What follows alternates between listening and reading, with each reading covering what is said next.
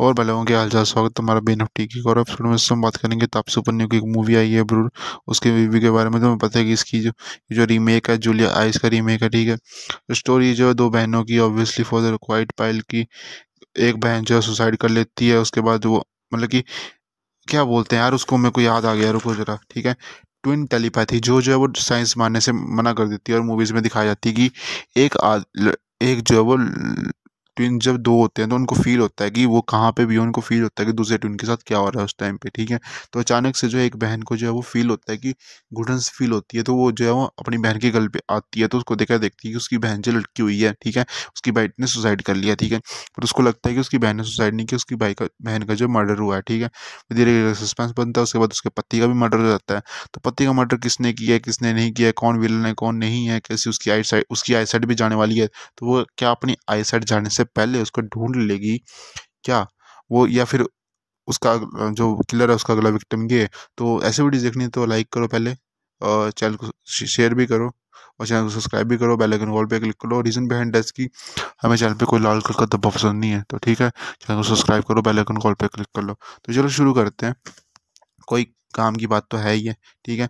तो कास्ट में तुम्हें देखने को मिलेंगी तापसी पन्नू, गुलशन दिव्यांश, अभिलाष तिफाली एंड कुश्तरीका देसाई खान। भाई लिटरली इतनी अमेजिंग स्टार कास्ट है मैं तुम्हें क्या बोल सकता हूँ? और भाई लिटरली मज़ा आता है मूवी को देख के, जब भी आते सस्पेंस अच्छा लगा है मेरे को इस मूवी का। तो स्टोरी सुनने में काफ़ी ज़्यादा अमेजिंग सी लगेगी, ठीक है? लेकिन सस्पेंस भी अच्छा है। मैंने बोला सस्पेंस पूरा है तुम्हें एंड तक नहीं लगेगा पता कि कौन विलन है, कौन नहीं विलन है, कोई मर्डर है, कौन मर्डर नहीं है तुम्हें नहीं लगेगा पता। लेकिन जब तुम्हारा एंड में पता लगेगा, तुम शॉक भी हो सकते हो। लेकिन भाई मूवी में बहुत सारा नेगेटिव्स हैं, जैसे कि उनकी, इसकी डायरेक्शन काफ़ी ज़्यादा अमेजिंग नहीं है। भाई इसके शॉर्ट्स ही मेरे को समझ नहीं आ रहे कि कैसे लिए गए, कैसे नहीं लिए गए।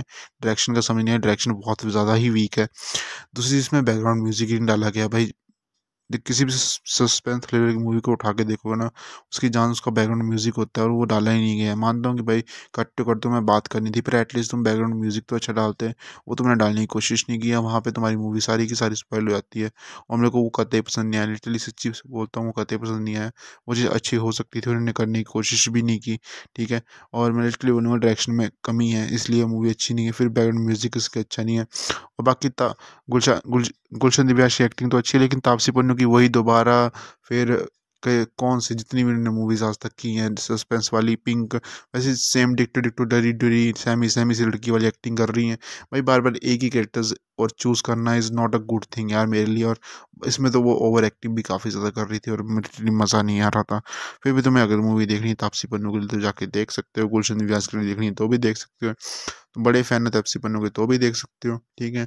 मैं नहीं बोलूँगा कुछ भी, मैं नहीं बोल सकता कि तुम देखनी चाहिए, नहीं देखनी चाहिए। अगर तुम्हें सस्पेंसिल देखना है तो देख लो, बस तुम्हें सस्पेंसिल फील नहीं होगा क्योंकि बैकग्राउंड म्यूज़िक अच्छा नहीं है। और ऐसी वीडियो देखनी तो लाइक करो शेयर करो सब्सक्राइब करो see then for now love you guys और देखते रहिए B N F T V C